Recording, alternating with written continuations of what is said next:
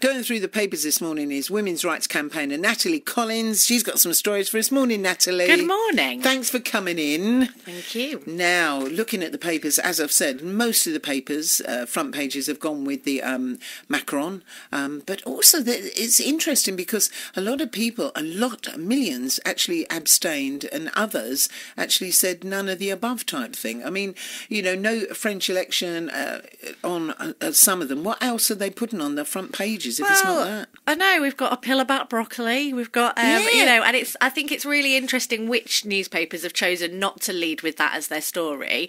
Um, and it's often, apart from the Daily Telegraph, it's all the very right wing ones. And I, I, I would suggest if Le Pen had won, there would have been a Oh. lot of celebration, which would have been quite re- really problematic given her very racist views and you know kind of her fascist kind of background. So I think it's really interesting that um, almost I think it says as much about what a newspaper doesn't put on their front page as what they do. And I think you know in these days where you know we're looking at the kind of fake news and all that kind of stuff, I think even the traditional newspapers and how they choose to um, what they choose to weight, and I think it's really hard for people who buy the newspapers to they they get a newspaper and they think oh that'll have the main news, the most important news, but every newspaper has an ideology. It's coming, you know, there's very few that are actually independent, and so I think it's really important that as consumers we are thinking, oh, like what is this newspaper standing for? Do I really want to be engaging with that? Because I think so much of our information still comes from newspaper, doesn't it? Well, when you when you look at, at, at- absolutely, and we are swayed with newspapers. I mean, I think we can say we're not, but I think we are. I think most people still like to pick up a newspaper,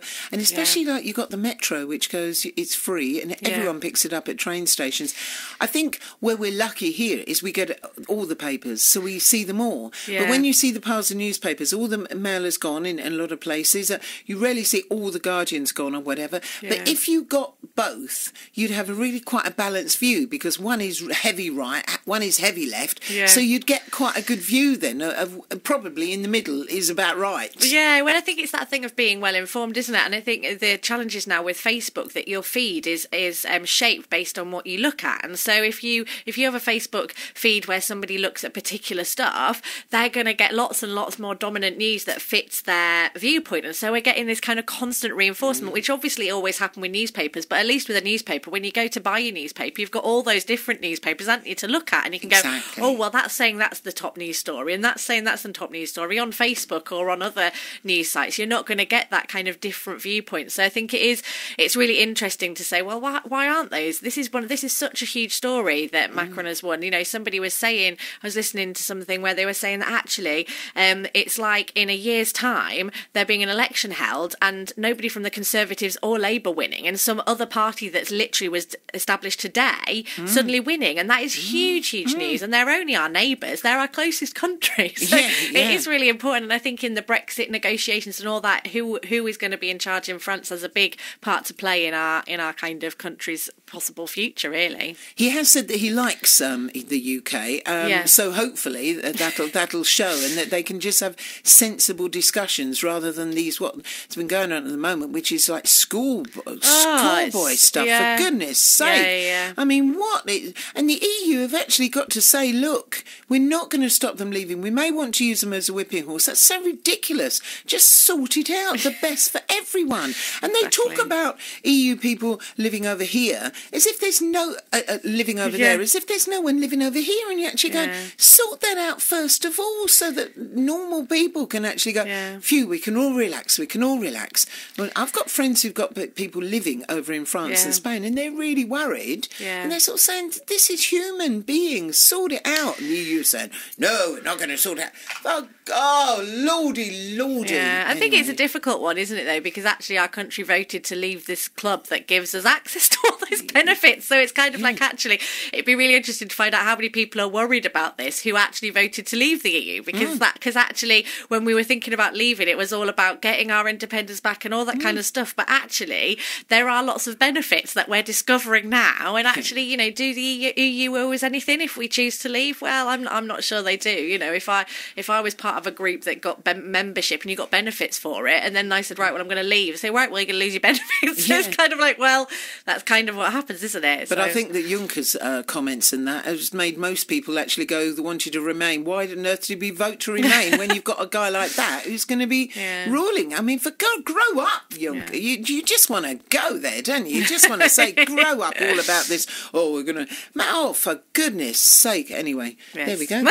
Have you got that out, yeah. got that over. Football club payouts. Now this is much more interesting in the mirror. Um, so the Daily Mirror, um, really, you know, terrible ongoing story about the amount of children who were sexually abused by um, within football cl- uh, clubs training children to do football. And I think you know, in every establishment that is particularly male dominated, the Catholic Church, Scouts, um, football clubs, we see this over and over again that children, particularly boys, being very vulnerable um, to these terrible, terrible violence and abuse that they were subjected to. And what it's saying is that, that it could actually bring some football clubs down because of the compensation claims that these poor um, men who were children at the time are going to kind of potentially seek. And I think, you know, it's kind of, I don't know, it's sort of sympathetic to the clubs. And I think, well, you know, kind of, oh, it could bring the clubs down. It's like, well, really, you know, this is about their statutory responsibilities. And then, you know, loads of people knew what was going on, and these people were kept in positions of power and were unable to do this.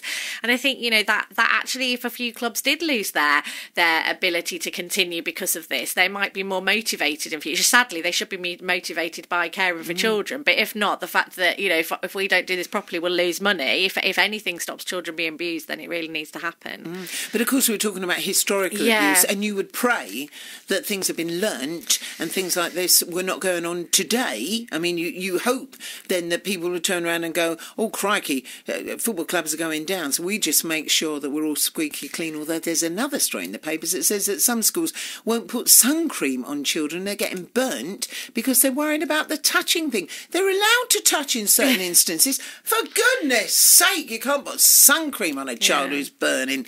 Well, it's a, it's a, it's that whole thing of understand. You know, I think that as a society, we're not very good at understanding sexual abuse and understanding how it happens, and you know who perpetrates it, and so we end up with these ridiculous, pointless rules which don't protect anybody. Um, in in favour of rather than doing what we should be doing, which is much more um, about kind of really good preventative work that actually addresses the the challenges needed to um, to stop this. We're talking about teaching later in the programme today and about the lack of teachers. And I think one of the reasons is is that they're so worried of being accused of what this, that, and the other, not knowing the rules and not knowing how, and different schools apply them differently. It must be an absolute nightmare. A nightmare. Moving on, a Jedi library. This in the Echo. What, what's this? Yeah, so I, I just thought it was really lovely. The um, Southend Library had a, um, a day for children to come and learn Jedi skills.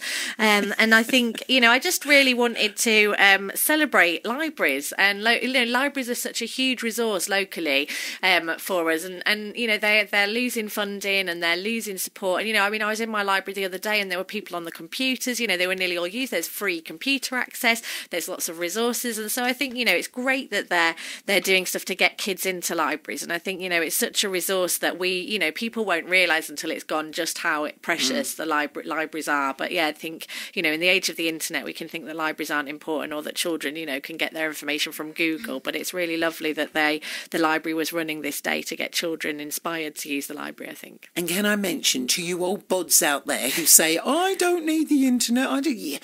Look, you go to your library and they, they often have help there for yeah, you. they have courses, They have often, don't they? So that you can go as um, if you don't understand the internet. Yeah. I've tried to encourage my dad to go to one. You know, go to the library and just Yeah. just learn, get a bit of literacy around it because I think it does feel totally overwhelming and Yeah. all consuming. But life can be so much better with a bit more understanding about the internet. You don't have to like take it on and have it all the time, but at least just not feeling intimidated and petrified of this Mm. this thing that's sort of taken over the world can help you just to just understand a little bit more about how to do it or what how it works. Can just help you feel a lot safer as well. I think. and can keep you independent Yes. till the minute you pop your clogs. Yes. It can help you to order your own food, to do your own shopping, to buy Yeah. your own Christmas presents when you can't get out anymore. Exactly. So think of that. Just think of it as I want to open this door into a whole new other world.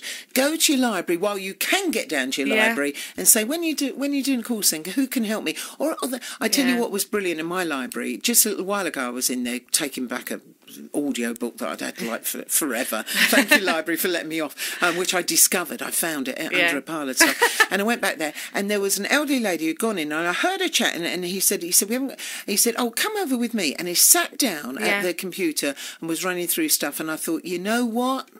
There you go. And she must have been maybe late 70s, maybe Yeah. early 80s. But she was learning because then she will be independent Yeah. till the day she pops her clogs. Yeah, definitely. And I think also if you've got grandchildren, having your children, you know, get, being able to join in with them and understanding what's going on in their lives and being able to participate in stuff they enjoy, it's, you know, it's a really wonderful, wonderful resource. It can be scary, but it is really wonderful if you have the, you know, know a little bit more. Natalie Collins, you can go and have a cup of coffee. Look, we're slightly late because I was interested in that in that chat. Thank you very much indeed, and uh, more with Natalie in about twenty minutes. But right now, just gone half past six. Time for the news headlines with Sonia Watson. BBC Essex. This is BBC Essex. It's BBC Essex. I'm Sadie Nine, and joining me in the studio to continue going through the papers, uh, women's rights campaigner Natalie Collins. Hello, Natalie. Hello. Back in again. I love your hair thing. By Thank the you, way. thank you. It's you. really nice, actually. I like that. I was looking at that, thinking, I'll nick that. Yeah, I like that. Very nice. Now, what have you found for us? Uh, uh, this is one of the best stories of the weekend. Boko Yeah. Haram.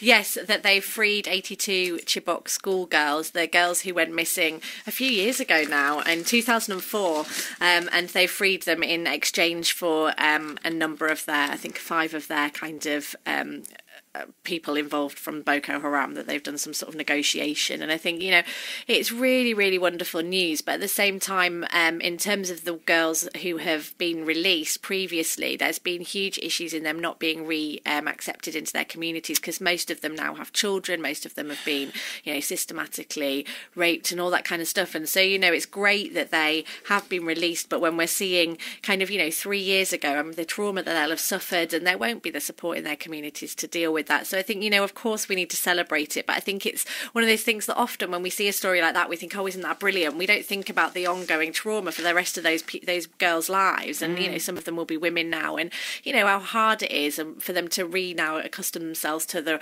wider community and whether the wider community will accept them and that kind of stuff. So I think you know it's it's really wonderful news, but obviously you know just the what they've been subjected to, eh, you know, will continue to traumatise them. So yeah. And you have to think of the girls who are still in captivity, still Yeah. held captive as well. So you you can't let it go, and you can't sort of, think, oh, well, they're back. As you say, a, Yeah. a lot of them won't be accepted, and you think it's it's almost animal-like in a way, isn't it? That that once once uh, certain animals have been touched by humans or whatever, then it's very difficult to put them back because they'll smell them differently or whatever. And you actually go, but we're not animals, we're humans, Yeah. and these these children didn't ask to be taken. No, I, I think it's you know it- it's just huge. You know, I mean, I think that anybody who's been subjected to sexual violence will, you know, even in the UK or in places where you know that actual experience is often shameful and that people don't respond in positive ways and people respond in really negative or alienating ways. You know, and I think that that's really hard because I think you know wherever we are, there is so much stigma attached to sexual violence, and I think you know understanding that there is help available. Rape Crisis England and Wales have a phone line that runs